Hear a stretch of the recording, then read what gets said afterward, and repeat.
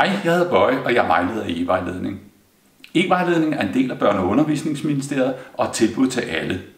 Vi vejleder inden for hele uddannelsessystemet. Vi hjælper hver dag mange arbejdsløse voksne med at finde relevante kurser og uddannelsestilbud. Hvis du lige nu er arbejdsløs og har behov for at vende dine muligheder for ny uddannelse, efteruddannelse eller for at komme i job igen, så har du mulighed for at booke en vejledning via Skype med os. Du sender en mail til skype og derefter aftaler vi et tidspunkt, der passer os begge. Det er nemt, og du er velkommen.